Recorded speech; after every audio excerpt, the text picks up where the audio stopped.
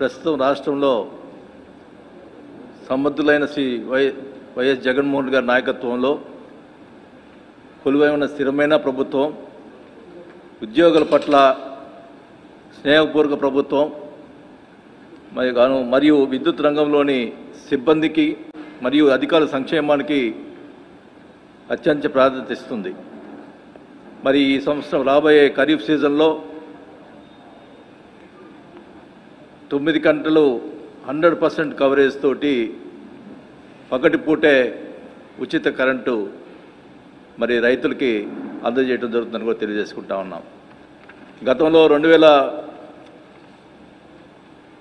పంతొమ్మిదిలో fifty five percent వరకే రైతులకి పగటిపూట ఈగ ఈగల పరిస్థితులు ఉంటే దానికి ముఖ్యమంత్రి గారు చొరవ చూపించి పదిహేడు వందల కోట్లు డబ్బులు ఇచ్చిన తర్వాత అక్కడ one thirty two KV substations కానీ ట్రాన్స్ఫార్మర్స్ కానీ ఇవన్నీ కూడా కలిపి పదిహేడు వందల కోట్లతోటి అన్నీ కూడా పూర్తి చేయడం జరిగింది. ఇప్పుడు హండ్రెడ్ పర్సెంట్ పగటిపూట తొమ్మిది గంటల కరెంటు ఇవ్వటం జరుగుతూ ఉంది. ఒక అనంతపూర్ జిల్లాలో మటుకి వాళ్ళు కొంతమంది రైతులు మాకు రాత్రిపూట ఇవ్వాలని చెప్పి వాళ్ళు అడిగిన దానివల్ల వాళ్ళకి కొంత వాళ్ళ రైతులు ఇది రైతు ప్రభుత్వం రైతులు ఎదుర్కొంటే చేస్తాం కాబట్టి వాళ్ళకి అనంతపురం జిల్లా వాళ్ళకి వరకు మటుకి కొంత ప- పగటిపూట సగం స- రాత్రిపూట కొన్ని గంటలు మరి ఈ కరెంట్ ఇవ్వటం జరుగుతుందని కూడా తెలియజేసుకుంటా ఉన్నాం.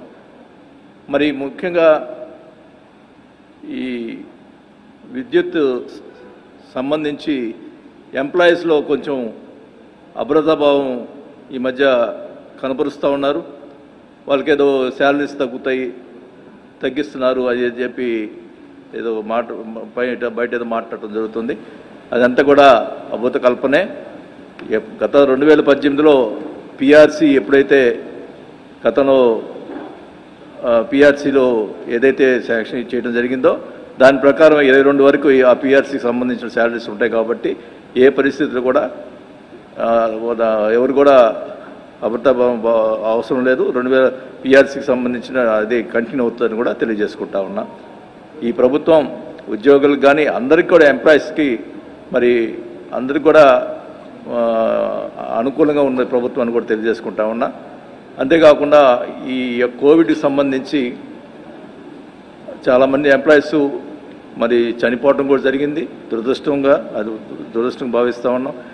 దానికి కోవిడ్కి సంబంధించిన అందరు ఎంప్లాయీస్ కూడా ప్రభుత్వం తరఫున ఆదుకునేదానికి అన్ని రకాలుగా మేము చర్యలు వాళ్ళ కోవిడ్ వచ్చిన వాళ్ళకి మరి పరీక్షలు చేస్తున్నాం అన్నీ కూడా ప్రభుత్వం చూసుకుంటుందని కూడా తెలియజేసుకుంటా ఉన్నాం. అంతేకాకుండా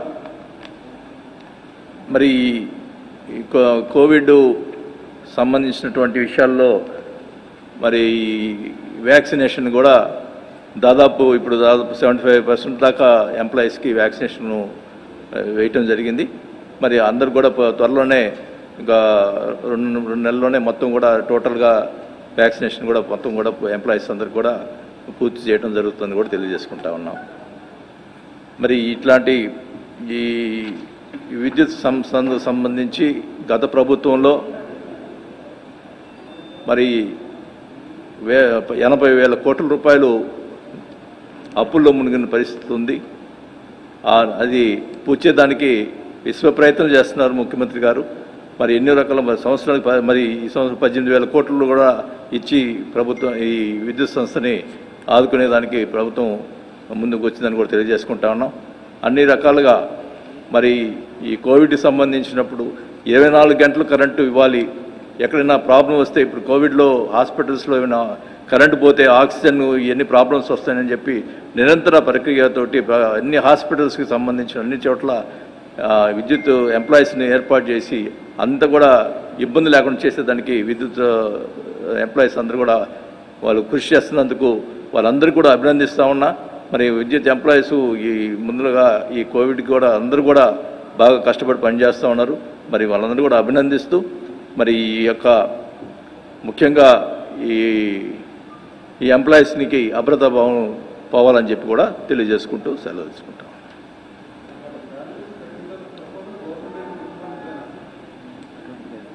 అట్లాంటిది ఏం లేదు. అది ఊరికే ఎవరో సృష్టించింది తప్పితే ఏం లేదు అట్లా. అదే పుకార్లు. అట్లాంటిది ఏం లేదు. ఏది రెండు వేల పద్దెనిమిది ఏదైతే పిఆర్సీ ఉందో అదే కంటిన్యూ అవుతుంది. రెండు వేల ఇరవై దాకా ఇరవై రెండు దాకా పిఆర్సీ ఉంటుంది. అదే ఎంప్లాయీస్ శాలరీస్ రావడం జరుగుతుంది. అవన్నీ కూడా కావాలని పుకార్లు లేపి చేస్తూ ఉన్నది తప్పేం లేదు.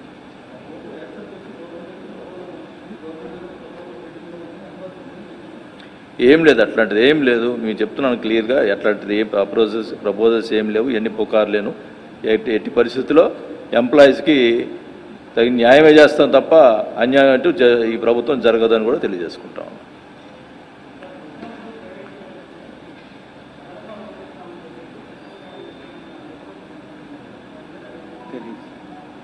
అవన్నీ మేము అసలు దాని గురించి ఆలోచించటం లేదు. మళ్ళీ ఇప్పుడు కొత్త ఎందుకు తీసుకొస్తారు మీరు? సెంట్రల్ గవర్నమెంట్ చెప్పినవన్నీ మేము చేయాలని మేము ఇంప్లిమెంట్ చేయాలని ఏం లేదు. మాకు అవసరమైతే మాకు ఇబ్బ మాకు ప్రభుత్వానికి ఇబ్బంది లేదు అనుకున్నది ఏంటి? చేస్తాం తప్ప సెంట్రల్ గవర్నమెంట్ చెప్పినవన్నీ చేయాలని మేము యాడ్ చేస్తాం. అని మోటార్లు మీటర్లు పెట్టాము కానీ అది జన ప్రజల మీద భారం పట్టలేదు అది. మేము ముందలుగానే వాళ్ళకి అకౌంట్లో డబ్బులు వేస్తున్నాం. కాకపోతే ఏంటంటే దానివల్ల రైతులకి ఎంత ఖర్చు చే ఎంత ప్రభుత్వం బరాయిస్తుందని కూడా వాళ్ళు తెలిసిపోతుంది. వాళ్ళకి రై రైతులకు ఇంత ఇంత మేము రైతులు రూపాయి వసూలు చేయటం లేదు దాని మీద. రైతులకి ఎంతైతే వాళ్ళు కరెంటు కాలుస్తున్నారో దాని మీద వాళ్ళకి తెలిసిపోద్ది అని చెప్పి ఉద్దేశంతో మేము మెట్లు కూడా బిగిస్తాం.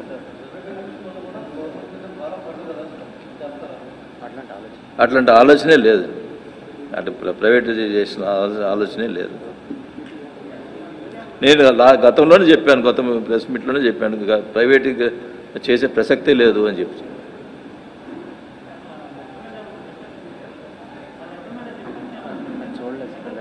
అసలు లెటర్ చూడలేదు నా దగ్గర రాలేదు మరి ఎట్లా వస్తుంది బయటికి? మీరు ఎట్లా మీరే మీ మీ దగ్గర చూపించండి లెటర్ ఉన్నట్టే అదైతే నాకు తెలియదు మరి తెలియదు ఫైనాన్స్. మా దగ్గరికి అయితే రాలేదు.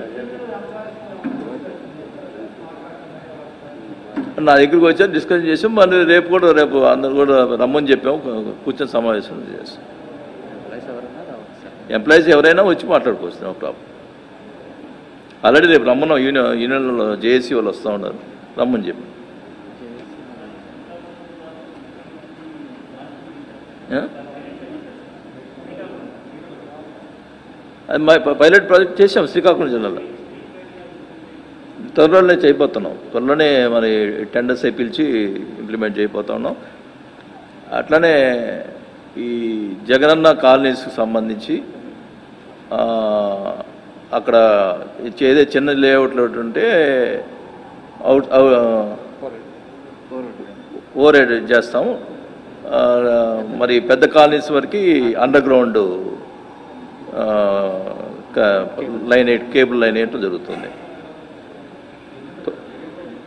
డిపిఆర్ తయారవుతుంది. ఈ- ఈ నగరంలో డిపిఆర్ పూర్తవుతుంది. త్వరలోనే అది అయిపోయిన తర్వాత టెండర్లు పిలిచి ప్రక్రియ స్టార్ట్ చేయడం జరుగుతుంది.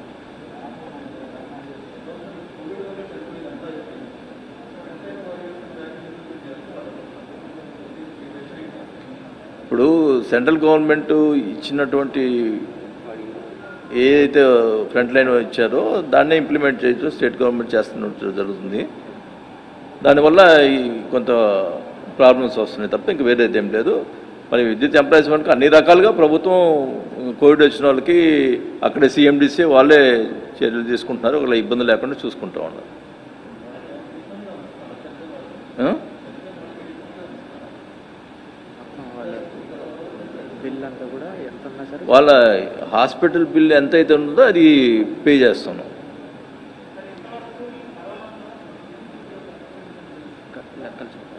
ఇంకా లెక్కలు చూడాలంటే కొన్ని ఒక డిస్కమ్స్లో ఒకరు ఒక దగ్గర నలభై మంది అట్లా ఒక దగ్గర ముప్పై మంది ఎంత మొత్తం టోటల్ నెంబర్ చూస్తాం చూడు రెండు వందల పదహారు చూసి చూసి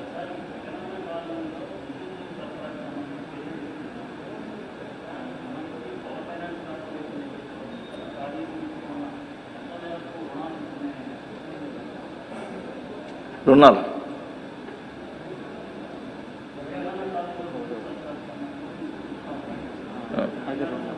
జగనన్న కాలనీలకు హౌసింగ్ డిపార్ట్మెంట్ తీసుకుని మనకి ఇస్తుంది సార్.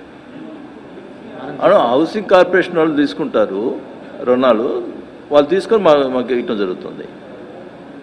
ఈ జగనన్న కాలనీకి సంబంధించిన హౌసింగ్ కాల హౌసింగ్ కార్పొరేషన్ వాళ్ళు వాళ్ళు తీసుకొని మనకు డిపాజిట్ కడతారు మనం మనం వర్క్ వర్క్ చేయటం జరుగుతుంది.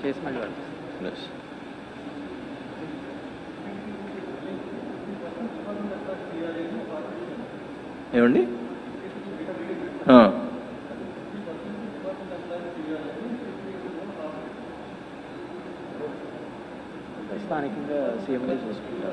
ఇప్పుడు ఇప్పుడు అదేం చూడలేదు సీఎండీలు చూసుకుంటా ఉన్నారు ఏమీ లేదు స్థాయిలో నిర్ణయం తీసుకుంటారు ఏం ఇష్యూ కాలేదు. అది అక్కడ ఉన్న పరిస్థితిలో ఆ సిపిడి వాళ్ళు సీఎండీలు వాళ్ళు వాళ్ళ స్థాయిలో వాళ్ళు తీసుకోవడం జరుగుతుంది అక్కడ ఉన్నట్టు.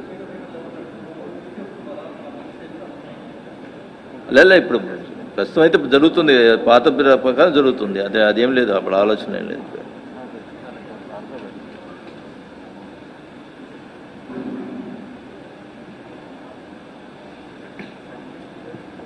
Okay.